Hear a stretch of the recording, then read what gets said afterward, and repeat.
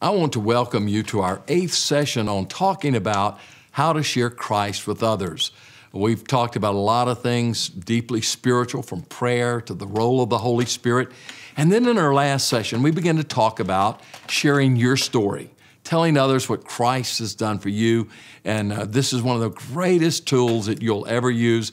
And I'm talking with Wayne Jenkins, a dear friend who grew up with me in Baton Rouge. Wayne, I, want to share something with you as we Yeah. get into this. Uh, we both grew up in Baton Rouge, and I went back to Baton Rouge here recently and had a group of my high school friends come together.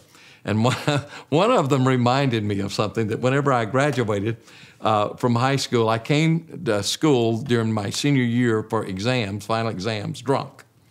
And uh, I came. Makes for a good exam. right. So anyway, I came and, and the teacher said, Sammy, sit down and take your exam. And, and I took the test, I wadded it up and threw it at the teacher. It's a, it's, a, it's a miracle that I ever got out of high school. but anyway, th- this friend of mine reminded me of that. And, uh, and, and I just think about, wow, you know, I can't believe, you know, that, that but you know what? God changed me. That's right. And this guy went on to say, and then I watched Sammy and I saw a change in his life. And he was giving my testimony for me.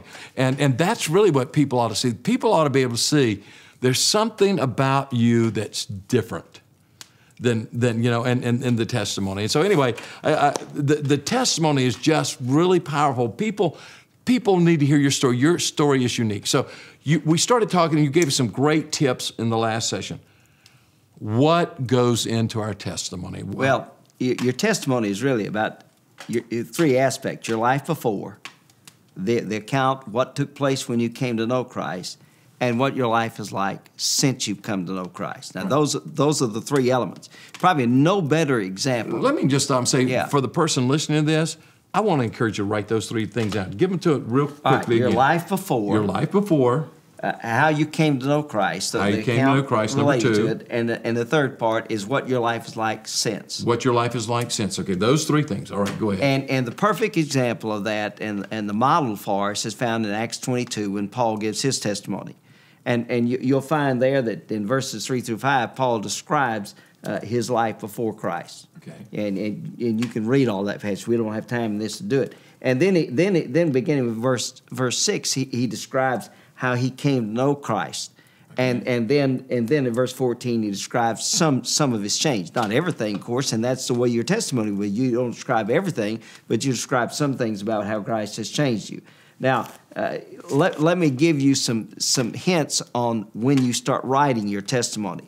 If you'll write uh, uh, my life before come down a little bit just on eight and a half by 11 and come down and, and then the second just a regular sheet of paper. regular sheet of paper uh, how i came to know christ leave a spot for that, and then come down and my life since I've come to Christ. All right, you got those three things, and you remember you want to try to keep it brief, but here's some things, the questions you may want to ask yourself when you're writing down each one of these sections. For instance, my life before Christ, you may include that you were you were lonely. That may be be part of it. That, that you lacked purpose. For me, that was a large part of it. I, I was uh, about to graduate from high school. I was in my senior year. I did not know, fixing to start my senior year, I didn't have a clue in the world what I really wanted to do in life.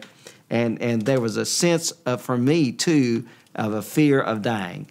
Mm-hmm. And, and I never came close to dying, but for some reason that, that just gripped my heart. I would pray a little prayer. If I should die before I wake, I pray the Lord my soul to take. Mm-hmm. And that haunted me every night. And I just about had to die to go to sleep.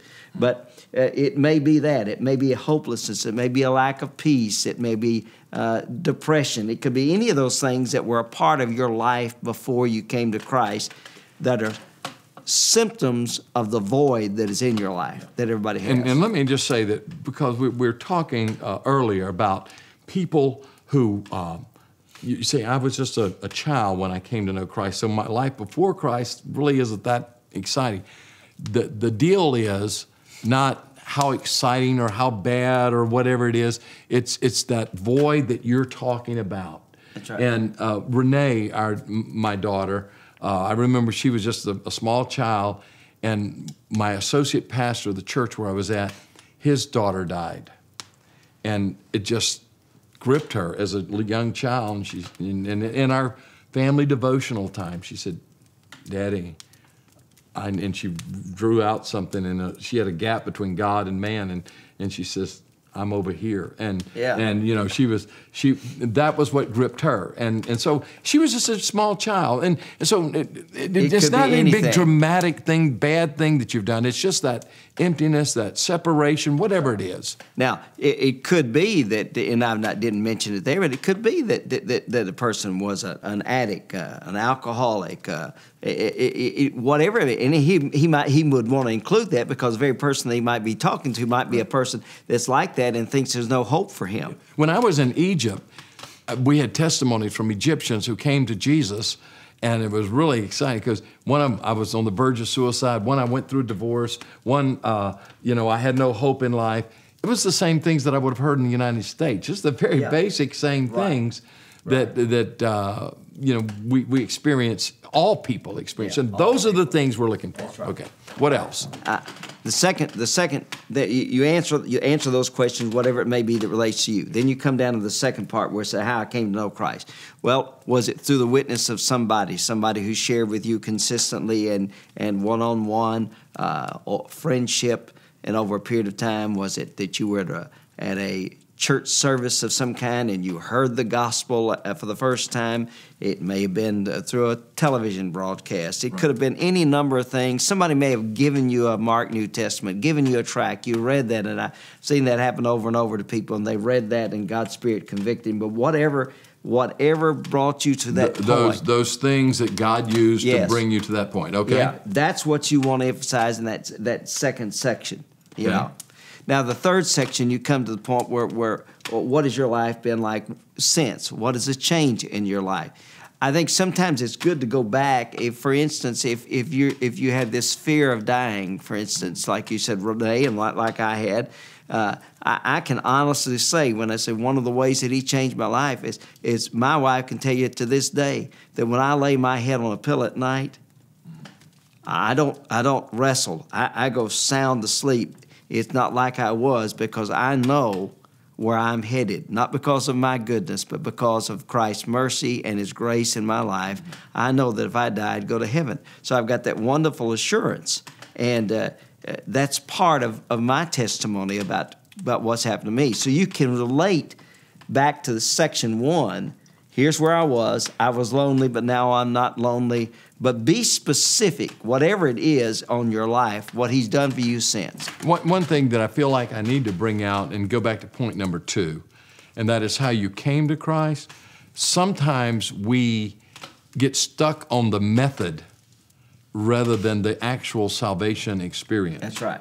And we need to be very, very careful that we share that. For instance, for people who grew up in the south, southern part of the United States, often I hear them share their testimony and say, and I walk down the aisle. Well, I know what that means. I, I, I understand what that means. But walking down an aisle doesn't make you a Christian.